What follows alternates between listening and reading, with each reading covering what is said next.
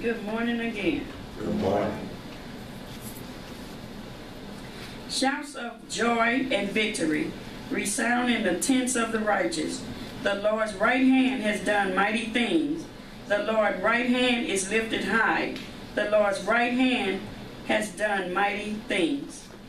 I will not die, but live, and will proclaim what the Lord has done. The Lord has chastened me severely, but he has not given me over to death. Open for me the gates of righteousness. I will enter and give thanks to the Lord. This is the gate of the Lord, through which the righteous may enter. I will give you thanks, for you answered me. You have become my salvation. The stone of the builders rejected has become the capstone. The Lord has done this, and it is marvelous in our eyes. This is the day that the Lord has made. Let us rejoice and be glad in it. Amen. Amen. Amen. The battle is not yours. You know, I, one song was talking about we're in a war. and then you got to remember, even though you're in the war, the battle is not yours. amen. The battle is the Lord's. It, but the song said He uses you.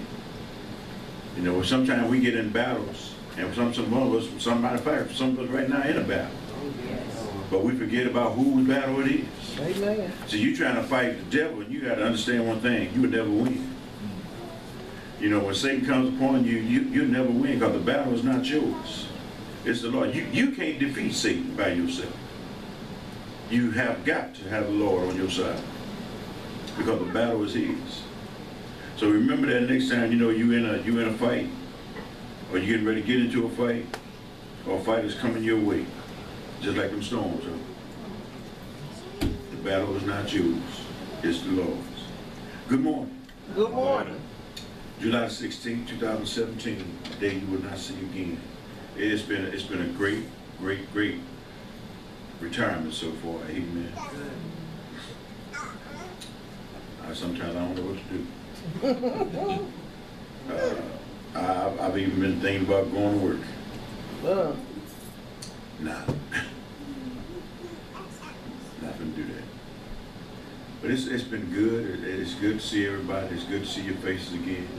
Because, you know, I know it's summertime. Everybody doing their thing. You know, but sometimes we gotta remember who's in charge.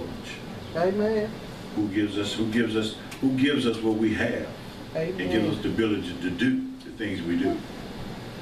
So no, no matter what we do, let's not forget who is in charge, who has total control. Our Lord and Savior, Jesus Christ. You know, He's always with you, no matter what. Even in your roughest of times, Jesus is right there with you. You know, so, have you ever been on a trip and forgot your luggage? No, have right? Am I right? You When you when you when you when you going on a trip, you, you make sure you pack, Right. right? Right. You got your luggage. You don't never forget it. Now you might forget some things, but you don't forget your luggage. Sometimes you need to forget the luggage, because you know sometimes that, that luggage weighing you down. Mm. Sometimes you need to just you know, go get the toothbrush and just leave the luggage, pack it up and leave it. Yeah, I'll get that on the way home. Sometimes things just hold you down and hold you back. And some things you just got to let go. It's time to get some new luggage Yes, Lord. and leave that old luggage alone. Amen. Amen. All right. Yeah, I know how we do it all while there. Mrs. Smith, an elderly woman, went into the doctor's office. When the doctor asked why she was there, she replied, I'd like to have some birth control pills. Now, quite surprised, the doctor thought for a minute, and then he said, Excuse me, Mrs. Smith, but you're 75 years old. What possible use could you have for birth control pills? The woman responded, they help me sleep better. The doctor thought some more and he continued. He said, how in the world do birth controls help you sleep? The woman said, I put them in my granddaughter's orange juice, and I sleep better at night. Amen. Say it like you mean. it. This is my God. This is my God. The word of God in whom I will trust. Amen. Amen. Let's pray. Gracious and Heavenly Father, Father, we just glorify you on this day, God. We give you honor, praise. And Lord, we just want to just, you want you to just lift us up right now in the name of Jesus. Father, speak with my mouth. Speak with my mind. Let me stand behind the cross. Let me decrease, Lord, as you increase in me. Holy Spirit, arise and awaken. And speak to the people of God. These are no things we ask in Jesus' name. Amen. Amen. Emmanuel. If you would turn your Bibles to the book of Joshua. Joshua. In the Old Testament. Genesis. Exodus. Leviticus, Numbers, Deuteronomy, and Joshua. Joshua chapter 24, starting at verse 14. Joshua 24, starting at verse 14.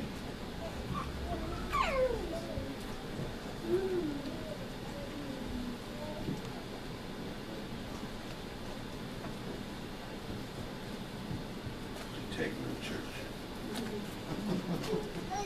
Joshua 24, starting at verse 14.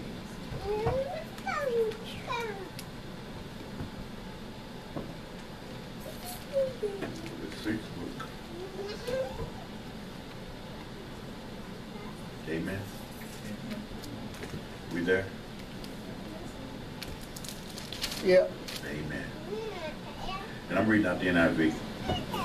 Joshua 24, chapter, I mean chapter 24, verses 14. Starting at 14. Now fear the Lord and serve him with all faithfulness. Throw away the gods your ancestors worshipped beyond the Euphrates River and in Egypt and serve the Lord. But if serving the Lord seems undesirable to you, then choose for yourself this day whom you will serve. Whether the gods your ancestors served beyond the Euphrates or the gods of the Amorites, in whose land you are living.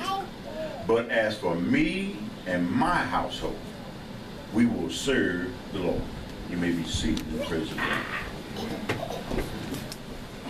This is coming to the end, about the end of, of Joshua's life. And at the end of Joshua's life, he was challenging the children of Israel to be faithful to their God.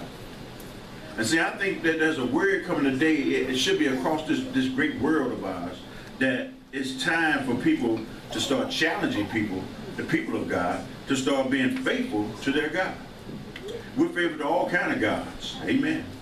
And they need to make they need to make up their minds and decide whom they was going to serve. The Israelites did. Now, this morning I want to talk to you all about make up your mind.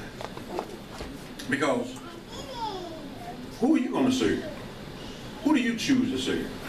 We, there, there's so many, we got so many gods, people don't realize who their gods are that they serve. Because they take control of your lives. How about, can, can money be a god? Yes. Can alcohol be a god? Yes. Can drugs be a god? Yes. Can hate be a god? Mm-hmm. See, we serve so many gods and we don't even realize it. And he's telling us to be faithful to our God. He's challenging us today to make up your mind. It's time for you all to make a decision and choose who you're going to serve. We've been serving Satan for a long time. And you know, we, we- you know, sometimes you know people don't like to hear about them serving Satan because they know like that. you know, How you know I'm serving Satan? Well, you know what? We all serve. I, I serve myself. You know, he come, he come to me and he gets served. We all have a taste of Satan every now and then. But who are we going to serve on this day? Who do we choose to serve? It's time for us to make decisions in our lives on, you know, how are we're going to serve the Lord. What, what, what can you do for the Lord? Because the Lord has done so much for you. Amen. Amen. When has God not done anything for you? I mean, outside of everything you have, all your materialistic things, who gave you life this morning? Who, who, who gave you the ability to walk, to see, to talk, to smell, to see, to hear? If it had not been for the Lord, you wouldn't have these things today. Simple things that we take for granted. How about water? You know, that's, something, that's something sometimes we don't drink. Mm-hmm. Because we always need some flavor. Huh? So we go get a Pepsi, or orange, or grape. And don't leave out them best fruit punches.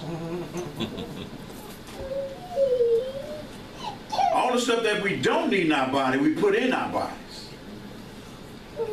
How many of you have to know that, your body is really made of water? Your body needs water. But we'll serve this. This, Pepsi, Coke, you name them, they, they made they billionaires off of our money. Amen. Because we've been we've been programmed that it's good. Yes. It's refreshing. Right? Amen. When God serves you, his word is good. It's refreshing. But we don't drink it. See, we, we, we, we won't drink this. But get one of these, we'll tear it up. You got to make up your mind who you're going to serve this morning. Point number one. In verse 14, it, it, it's, about, it's a preferred choice. Of course, the preferred and best choice was to fear the Lord. That was, that was your best choice, to fear the Lord and serve him in sincerity and in truth. All the other gods were to be put away. What did he tell us in the commandments? Serve no other God before him. Am I right or wrong? So why do we continue to put gods before God? Boy, I don't know, that's, that, that big thing, that, that, that, that M-O-N-E-Y, that, that one right there, that's just, that's just the God of all gods for people.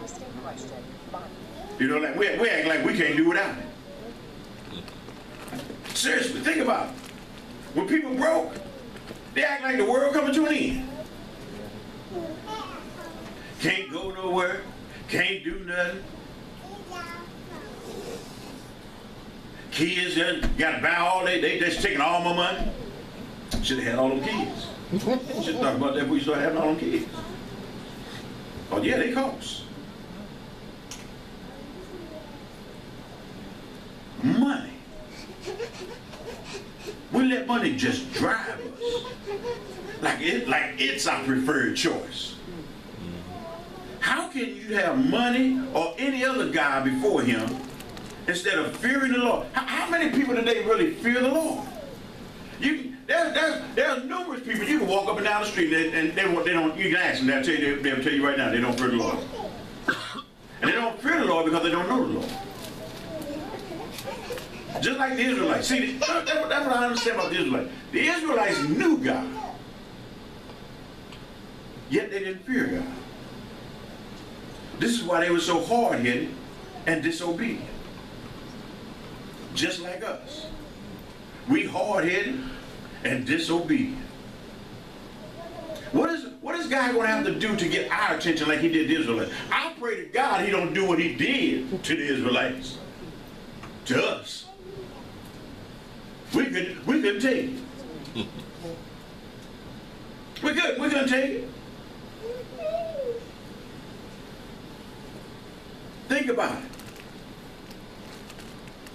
Let somebody come in and, and, and, and take over our land.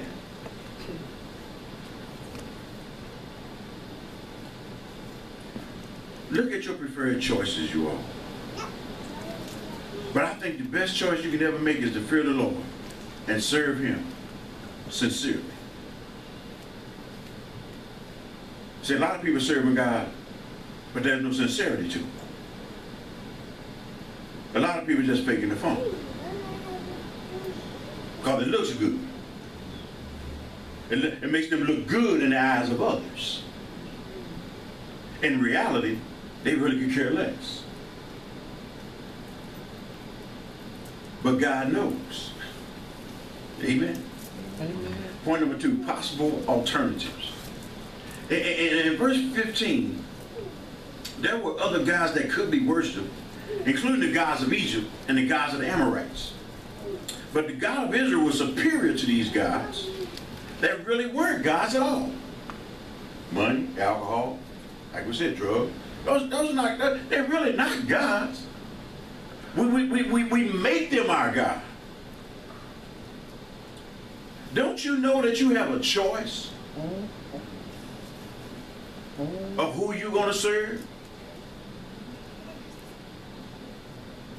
I, I, you know, we, we, we some of us say, I just don't understand why how they how they how they how they get high and put that stuff all up their nose and shoot that stuff in their arms. Got caught up. Be thankful that you never got caught up. And those that have got caught up, thank God that you clean. Amen. Amen. You know, that's a big thing that that that, that, that those that are that are, that are clean and, and as they go through the years and stay clean, that truly is a great accomplishment, you all. It really is. Because I think, you know, those of us that, that, that, that, that are sober, you have no idea how hard it is to go day to day without it and, and then, then be around it.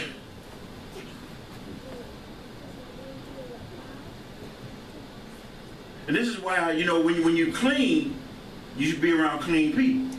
Amen. Amen. Because if you, let me tell you something. If you clean and you're going to still go around know everybody getting high, sooner or later, You're going to be like the barbershop. sooner or later, you're going to slide. You're going you're gonna take a hit and you have to start all over. But you got alternatives. It is still not wise or logical to choose alternative to the true and living God. But people do it all the time, don't they? Yeah. People are always choosing others over God. I, I, for the life of me, that's something I'm, I don't think I'm ever understand why. But people are people, and people will always do what people want to do. Amen. You can always give people the word and teach people the word. Don't necessarily always mean that people are going to follow the word.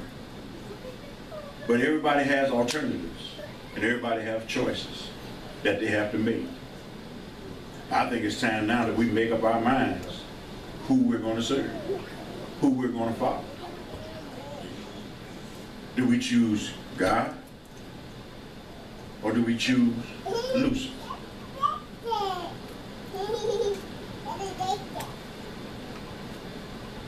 It is so easy to follow Lucifer because everything he gives you looks good. Or he whispers in your ear, it sounds good. We serve so many different gods in our, in our day, in, in, in, in this age today. Some of us just get caught up with different kind of things in our lives. And we forget about the alternatives that we do have.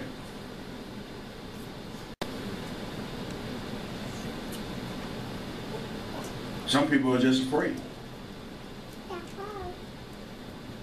Some people think they serve the Lord just by showing up.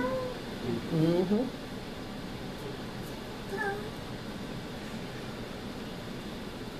What if God just showed up to your house and just didn't do nothing?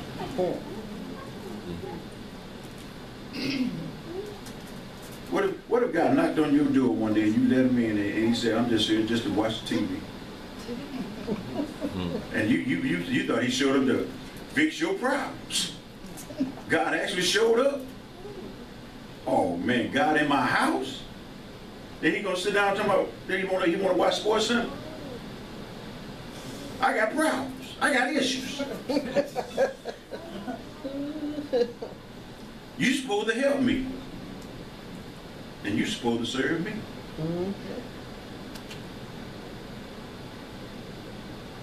What if? What if?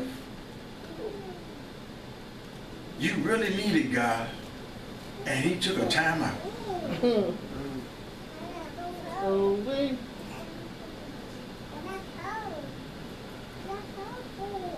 You know, I'm so glad that God don't go on vacation like we do. You know how we take a break from God? And some of us take extended vacations. And, and, you know, I'm just so grateful that no matter what we do, He's always there. No matter what choice we make, He's always there. God serves us faithfully. Faithfully. Don't you think it's time for you now to turn around and take your change your alternative and start serving him the same way? Faithfully, sincerely, with all your heart? Point number three. It's a personal decision. As far as Joshua knows, he led in his family, this was a no-brainer to him. Because he and his family would serve the Lord. That's what Joshua said. As far as me, as for me and my family, we will serve the Lord. That's a personal decision everybody has to make. You know what I'm saying? I, can't nobody make that decision for you. I, I can sit here and talk till I'm blue in the face. But that decision is still yours.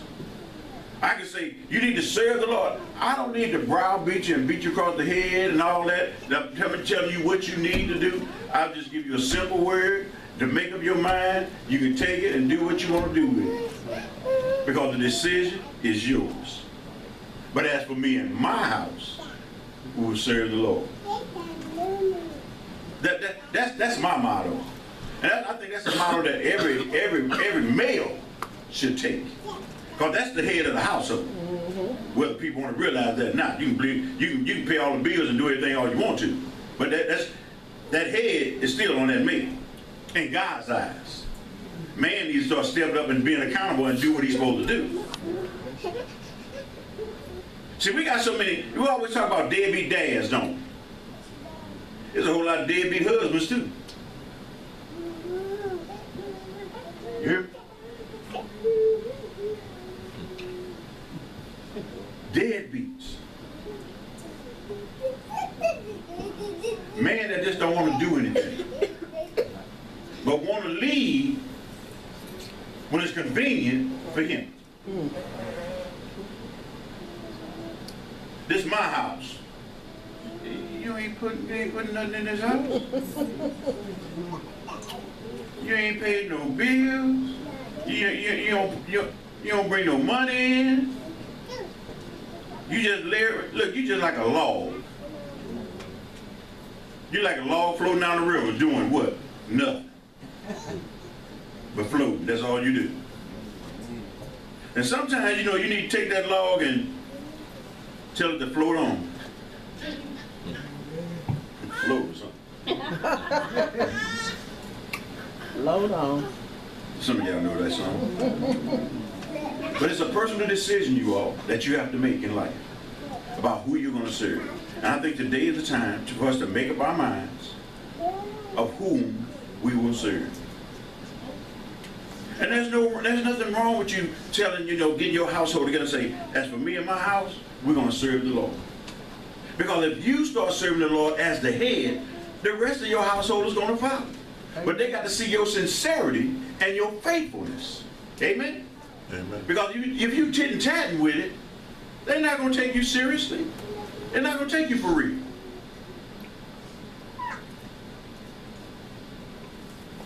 Serve the Lord. Uh, That's, that's all I can tell you this morning. is for you to just be honest within yourselves and make a personal decision of whom you will serve. Amen. Just like Joshua did. You know, Joshua could have done what he wanted to do. He could have just been, he could have done what the rest of the Israelites did. But Joshua was a warrior. And he knew how good the Lord has been to him. You think about all the battles that Joshua went through, yet he came out unscathed and alive. Think about it. It's like Brother Martin was saying earlier about war. If you ever been in a battle, if you ever seen war, and I ain't talking about TV. TV, TV is TV. It's it's it's fabricated. But when you can, when you when you smell death and see death on a daily, it makes you appreciate life. Amen. And when you come back, you so grateful to just get off that plane and kiss the ground because God is so good. And I can tell you for a fact, I wasn't thinking about God as far as, you know, serving him.